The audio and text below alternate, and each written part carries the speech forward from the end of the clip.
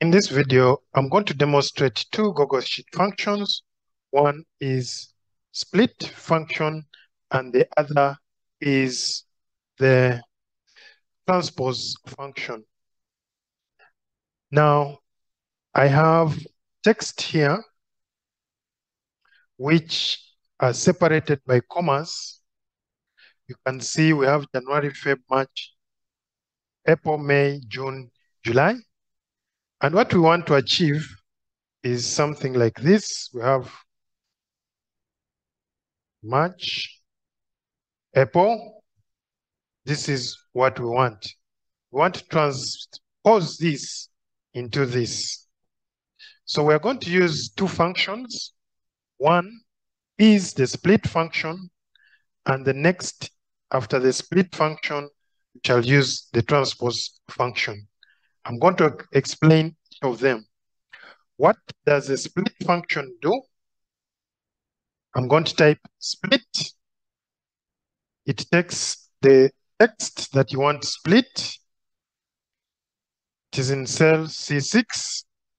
The delimiter is what is separating this text here. In quotes, you put it in commas, like so then split by each. There are more functions here you can, but they are optional. So when I close, it is going to split this into separate columns. So when I say enter, you can see it splits this text, which was joined by commas, in two separate columns. Now, the next thing we want to do is change these columns different columns into one column.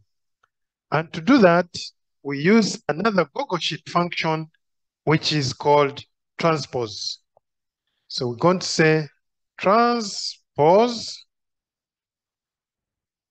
enclose it, enclose the split inside the transpose and press enter. Then you, it will change your columns into one column, the different columns into one column, as you can see right here.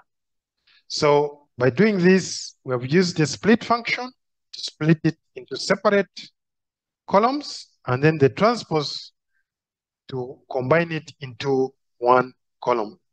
I hope this has been helpful. Thank you for watching. Please subscribe.